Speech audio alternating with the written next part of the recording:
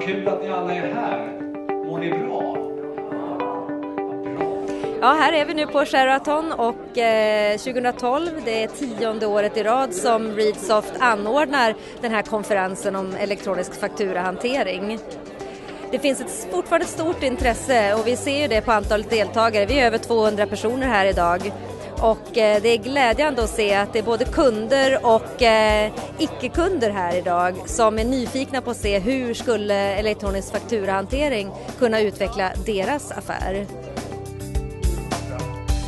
Under dagen har vi haft ett stort antal talare. Vi har bland annat sett eh, några av våra kunder som har varit uppe och berättat. Vi har haft Gunilla Johansson från eh, Gnesta kommun som har berättat om deras införande av e-faktura och hur det har hjälpt dem att bli ännu mer effektiva. Vi har också fått se att eh, det här med elektronisk fakturahantering det är någonting som påverkar både stora och små företag och eh, du behöver inte ha 50 till 100 000 fakturor utan har du 2-3 000 fakturor om året så kan det innebära väldigt stora förbättringar. Vi har också fått höra från eh, Orbit One hur de matchar inköpsordrar mot fakturor och på så sätt har man lyckats eliminera ännu mer utav arbetsuppgifterna, de manuella rutinerna. Sen har vi naturligtvis alla våra partners också som är här och eh, presenterar sig själva och sina kunder och vad de kan hjälpa till med.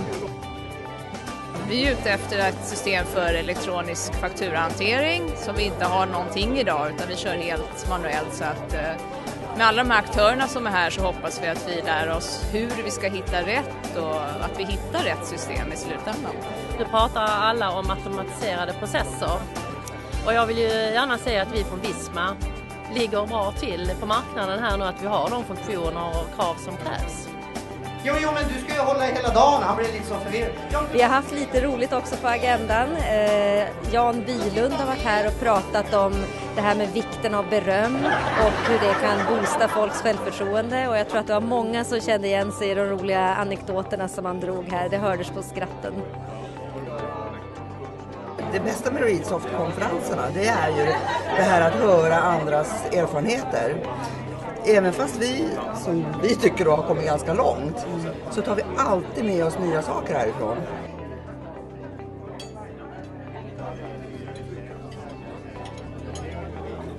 Ja, bra! Ja. Grattis Monica! Bra! Precis vad jag önskade.